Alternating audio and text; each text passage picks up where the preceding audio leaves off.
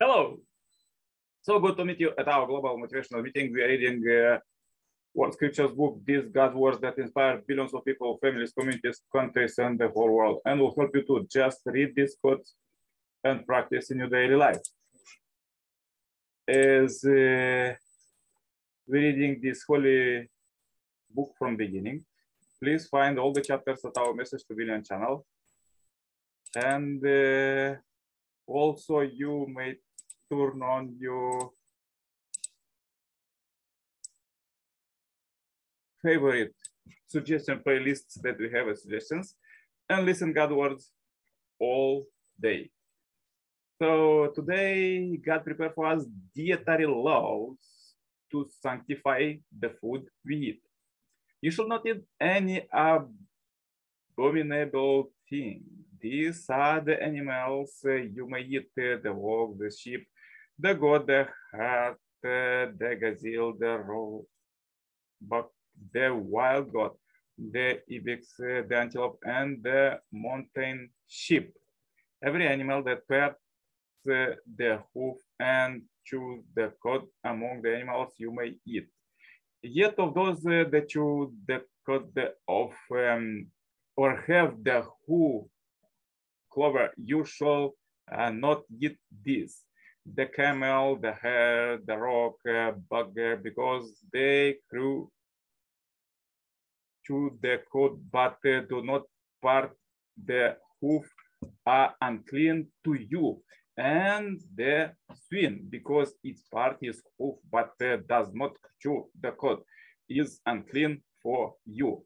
Uh, this flesh, their flesh you should not eat, and uh, their carcasses uh, you should not touch.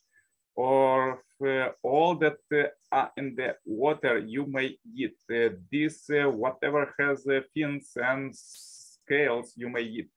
And whatever does not have fins and scales, you shall not eat. It is unclean for you you should not eat uh, anything that uh, dies of itself.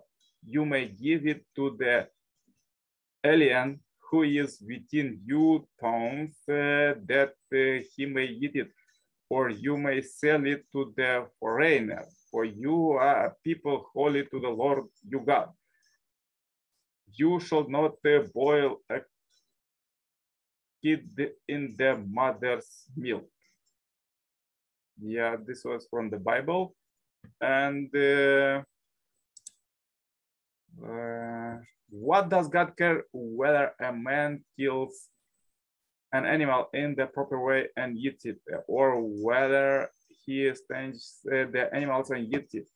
Or what does God care whether a man eats unclean animal or clean animals? If you are wise for yourself, you are wise, but uh, if you scorn your land shall beat it. From, from Proverbs. So uh, you learn that the commandments were given only to purify God's creature as it says. God's uh, word is purified. It is a protection to those who trust in him. Okay, this was from Judaism. And further, let's read from Quran. O, o mankind, eat of uh, that which is uh, lawful and worthsome in the earth.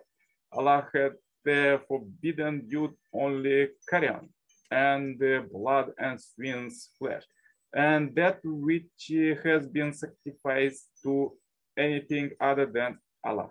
But he who is uh, driven by necessity neither craving not uh, transgressions, it is not sin for him. Lo, Allah is uh, forgiving, merciful. Let's read further quotes from the second coming Messiah, Father, Son. When we meet, we should first offer our food to heaven and then eat. Likewise, when we sit, we should first sanctify the place and then sit. Good suggestion. When you sit at a table, you may enjoy the food saying, these are wonderful dishes you prepared today.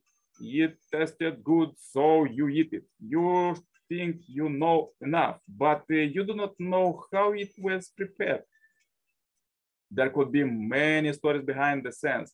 You do not know whether the rice was uh, stolen or from whom was it brought, or what kind of people grew it and prepared it. Maybe the farmer who grew the rice once slept with your wife. Maybe the machinery used to cultivate it was made by a gang of your enemies.